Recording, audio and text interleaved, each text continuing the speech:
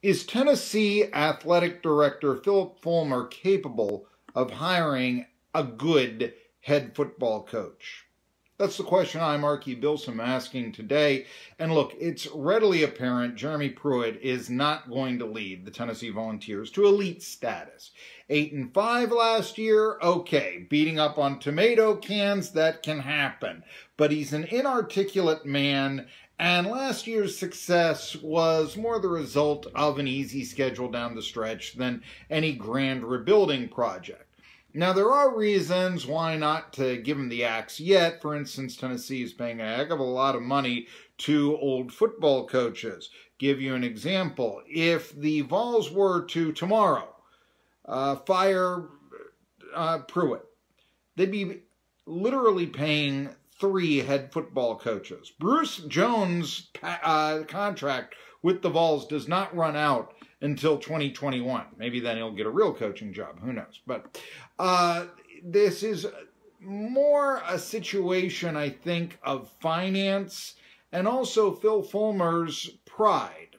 Look, Jeremy Pruitt's got to be looked through a critical lens right now. Uh, his coaching makes absolutely no sense. The Vols are on a five game losing streak, two and five overall. It's really difficult to see them not finishing with a worse winning percentage than the 2017 4 and 8 Tennessee football team, which is considered the nadir of modern Tennessee football times. And I mean going back 100 years modern. But the post-game press conference that Pruitt gave following yesterday's 30 to 17 loss to Auburn. By the way, what was with the field goal Auburn kicked at the end? The 50 yarder. Was that just a cover? I mean, you know, I, I, was a little bit surprised by that one, you know, and all this. I guess not totally out of the realm of uh, possibility or strategy or something like that. But yeah, that did seem to be a little bit of, hmm, we remember what happened here a couple of years ago down in Auburn, Tennessee. And so we're going to run the score up against you. All right, whatever. I saw him do it in 1986. There you go. But here's the deal. After the football game, Jeremy Pruitt, he's got the Zoom press conference, and he is asked about the program's direction. What would you tell fans? And he shoots back, that's not my job.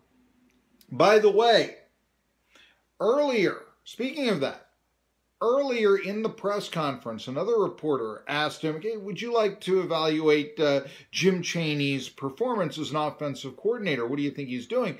And Pruitt championed the Volunteers outgaining Auburn.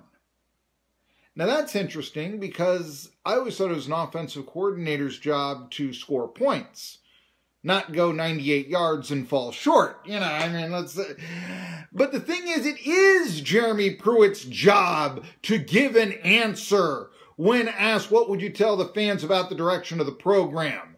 He's an ambassador of the program. He's the leading ambassador of the program. Furthermore, he has been critical of the fan base in the past. Remember when he got the job and said there was enough fans at the orange and white game? Hmm but yet he cannot give the fans at this time a statement of hope in a trying time. I remember Jeremy Pruitt, when he came in, he said, I'm going to do all the talking to the media, the infamous one voice of the Tennessee football program he was going to be. That's a real bad look. And frankly, his voice, Jeremy Pruitt's voice, needs to speak when it's called upon.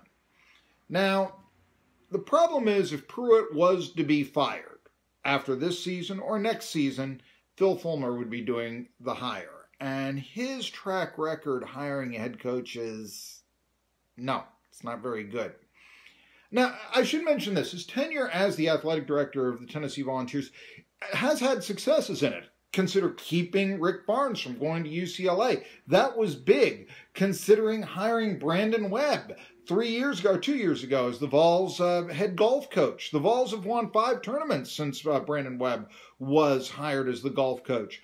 Uh, last year, he had a lot of conversations with the CEO of the Gator Bowl. That lured the Vols to Jacksonville instead of Nashville for their bowl game, so Tennessee got to play in a more prestigious bowl game than, say, the Kentucky Wildcats, who really did have something of a claim to the more prestigious bowl, but uh, didn't work out that way. So Fulmer admits his primary focus is the football team, and an argument can be made that, okay, it's in worse shape than it was before he was hired as the athletic director. They were four and eight. Now they're going on three and seven. 333 winning percentage instead of 300 if Tennessee beats Vanderbilt. More on that in a minute. But let's talk about Fulmer's head coaching hires. Remember, he was an advisor when East Tennessee State revived football about five years ago. And first they asked Fulmer to be the coach, and he said no, and he got him Carl Torbush. That was a hire straight out of 1998. If you don't know, Carl Torbush was the head coach of the North Carolina Tar Heels in 1998. He had not been a head coach since 2000 when he got the ETSU football job after about a decade and a half. His career record at ETSU was, get this, 11 and 22. And Torbush was painfully old school. He would talk about not uh, recruiting JUCOs. And then in his very first game, a brand new program, Kennesaw State, both Kennesaw State and ETSU debuted their football programs at the same time. Kennesaw State went to Johnson City, demolished the Buccaneers 56 to 16 with those JUCOs.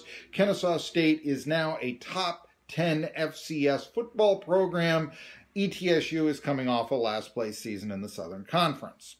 So that hire didn't really work very well for Phil Fulmer and for East Tennessee State. Uh, then you go to Jeremy Pruitt. And that seems to be another old fashioned hire. Look, Carl Torbush becoming the ETSU head football coach, that was a hire straight out of 1998. That's when both Fulmer and Torbush's careers were peaking. But the situation with Pruitt was, and we know about everybody and her brother turned down Tennessee. They got more uh, money elsewhere. And I think a lot of the reasons there could be Tennessee's expectations exceed their capabilities with the football program right now. Remember, there are a lot of reasons why it's not 1998 anymore. Uh, the revenue now is basically evened up. It's not that the Vols have the huge attendance.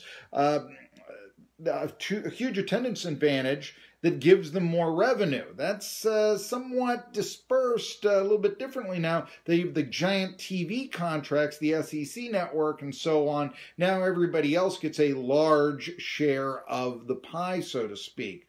Uh, also, should be mentioned that the Tennessee Volunteers, uh, you know, the state of Tennessee doesn't produce as many football players as does Florida, Alabama, South Carolina, Georgia, Texas, Louisiana. So it's difficult for them to get the players that some of their Southeastern Conference rivals will get.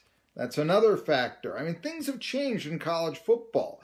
And so, regardless here, you're looking at Jeremy Pruitt and he comes in after everybody and his brother turns down Tennessee, first with old athletic director John Currie, and then, I mean, remember, Les Miles was talked to. But why Jeremy Pruitt? I said this at the time on my talk show. I did think that hiring a coordinator from Alabama was the way to go, but I wanted Brian Daboll, who is now the offensive coordinator of the Buffalo Bills and doing some really big things. Just like Carl Torbush's hire at ETSU was old fashioned, so was hiring a defensive coordinator instead of an offensive coordinator. Consider this you are hiring a defensive coordinator from a strong SEC program. Now, what's really the difference between hiring Greg Schiano, who the fans just revolted against, he's a defensive coordinator from a strong Big Ten program. Is this SEC bias? I mean, Schiano, he's got the pro experience, he's got the head coaching experience.